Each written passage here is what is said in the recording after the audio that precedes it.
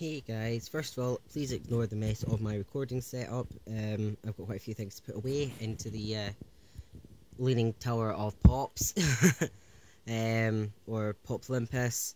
So, uh, I thought I'd start a little series of reviewing fake pops. Um, I did have a pop keychain, um, but I seem to have misplaced it, so when I find I'll make a video. Um, but this one is a very interesting one and so this is my first pop, uh, fake pop, and I'm buying ones I definitely know are fake, either through their price, um, their design, their box, hilarity ensues sometimes. There's something I'm going to buy when I get paid that Collector Unboxer actually linked me to, so I'll definitely be buying these, but this is the first one I've got turned around for a reason, um, and it's Hello Kitty.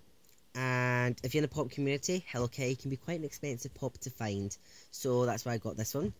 Um, first of all, First impressions at the back, uh, the artwork looks really good. As you can see, there's a little bit of damage in the box, which isn't too bad, considering it came in a plastic bag. So all in all, not too bad. The side, nice artwork. Again, a little bit more damage up top. It's a little bit creased there. Now, for the front. Yeah. No plastic on the inside. Oh, crumpled up there all in all, it, it, the box is very, very close to the original. But as you can see, it's very scarce of information on the bottom compared to any other pop. So, it is very, very scarce. But not a million miles away. If you'd looked at it from a glance, you would have thought it was official Funko. So now we will open it up. This is the actual the pop is not going to stay in its box. Um, my niece will get the actual fake pop and she can play with that. Um, because she she's six, she's not going to care about reals or fakes. So that's what the actual pop looks like. And all in all, it's a really nice re reproduction. Again, if if it's safe, it's for a kid or something like that, it's it's a really nice figure. It feels like a pop smells like a pop, it so it does look real. The only thing that's a big giveaway is the made in China on the bottom of the feet, compared to, say, Zero. Again, it feels the exact same. Hello, obviously Hello Kitty's a little bit heavier, but he has some dirt on the bottom of, of his body. Don't know if you can see it. All the Funko details compared to the reproduction of Made in China.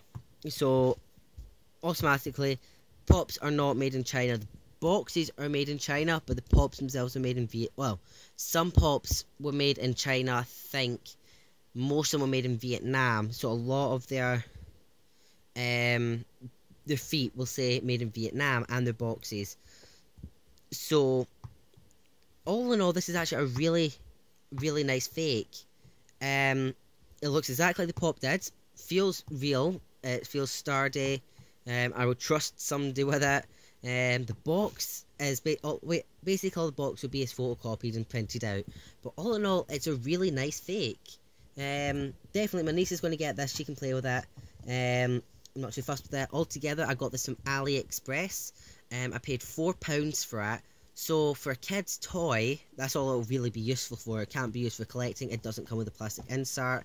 Can't really display it out apart from in the box. But for nice for a reproduction of an elusive pop for four pounds, it's not bad.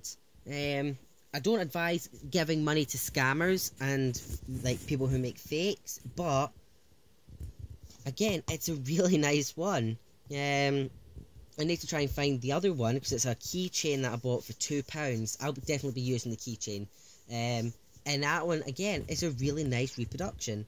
Um, so when I get paid, it's a couple more that I'm going to buy, and this is when it's get. Hopefully, when they come, it'll be getting into the worst of the fakes, like some getting bad. So that's the first one, and again, it's a really nice fake.